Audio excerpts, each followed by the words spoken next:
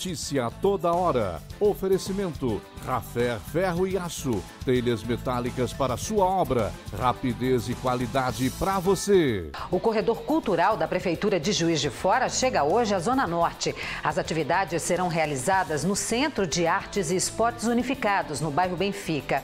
O destaque de hoje é o Festival do Minuto, às 4 horas da tarde. Amanhã, a programação tem início às 10 horas da manhã com uma aula de zumba, um programa de ginástica inspirado no ritmo latino. Ainda no sábado, às 3 horas da tarde, tem a gincana cultural.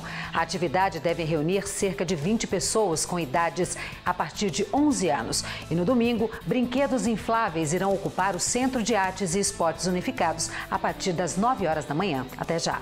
Notícia toda hora. Oferecimento: Rafé Ferro e Aço. Telhas metálicas para sua obra. Rapidez e qualidade para você.